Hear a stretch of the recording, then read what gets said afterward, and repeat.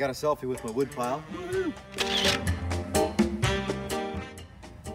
I gotta stuck this sucker up, get packed up, and get to the airport in like an hour.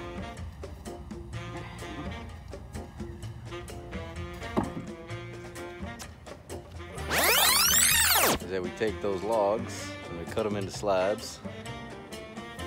And then I have a flat level place to stack them. And they hopefully won't twist and warp and do all of that. I don't know.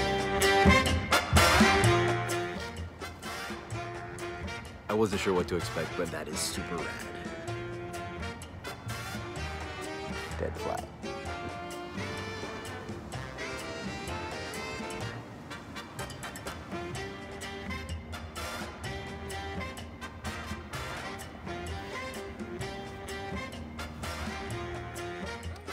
Had a little problem with the saw.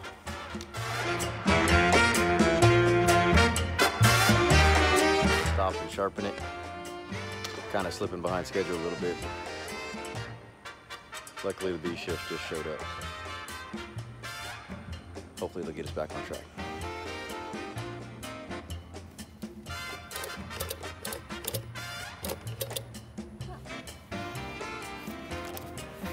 Now we gotta troubleshoot it, huh? What? We gotta troubleshoot it.